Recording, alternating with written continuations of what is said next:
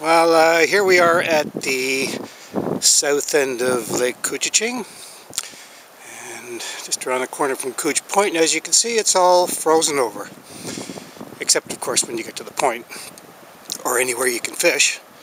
But other than that uh, it's a good effort by Cooch to try and catch up. And so uh, this is the first sign of ice and maybe the first spot that you could fish pike early.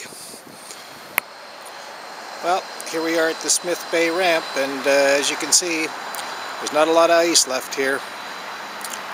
Hopefully there's some cold weather coming. This was uh, frozen over pretty good uh, a few days ago but uh, it seems to be all breaking up and melting and so no ice on December the 22nd.